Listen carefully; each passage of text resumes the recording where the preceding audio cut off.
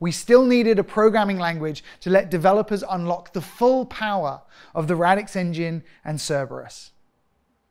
For the internet to really take off, it also needed a programming language built specifically for programs to run in web browsers.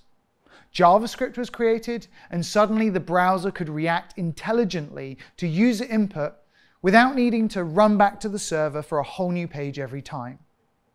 The invention of JavaScript led to an explosion of innovation and took the internet from the static websites of the Web 1 era to the dynamic social media giants that dominated the Web 2 era.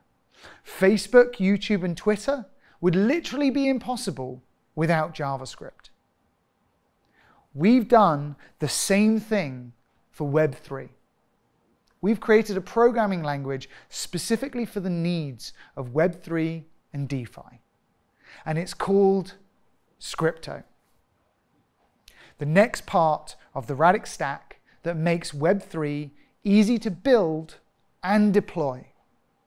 We knew that to get 27 million developers into Web3, coding had to be as intuitive as possible. So we started with the user experience first, something that JavaScript really should have done. Over a year and a half, we showed nearly a thousand developers how to program in an asset-oriented way using Scrypto with the Radix engine. Interview after interview, you could start to see the light bulb moment when it clicked. Many even went home and started building Web3 programs in Scrypto code without any prompting from us, having only seen the documentation once. Some developers have even told us that it feels like cheating to build Web3 or DeFi dApps using Scrypto. That's what happens when you design tools that provide the absolute shortest path from idea to implementation. With the Radix engine, Scrypto puts assets, accounts, and permissions at the heart of the programming language.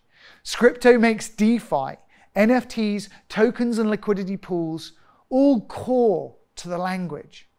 It treats asset security as a primary function, not an afterthought.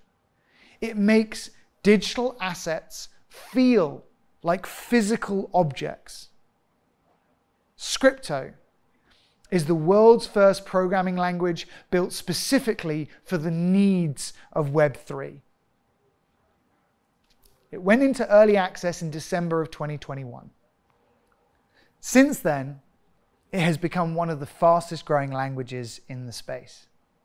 In just 12 months, Scrypto has gone from zero to over 4,500 developers learning the language. And we've had some incredible feedback along the way.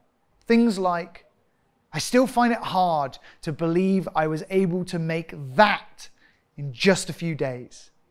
And as a Google software engineer, this has to be one of the best programming languages I've seen yet. And even I have programmed in Solidity, Plutus on Cardano, and the Fe language on Ethereum, and I can guarantee you that Scrypto is the best I've had in my hands. And more, loads more, just like that. And while we love hearing so many kind words, the real proof of success is in the applications that the community has already built, while Scrypto is still in alpha. Our community repositories are already stuffed full of examples of decentralized exchanges of every stripe, oracles, lending platforms, yield farming systems, DAOs, and countless other smaller building blocks. Everything needed to run a fully fledged DeFi ecosystem already exists in open source code that anyone can go and use. All before smart contracts are even live on the Radix public network. The starting gun to launch will be the Babylon upgrade of the Radix mainnet in 2023.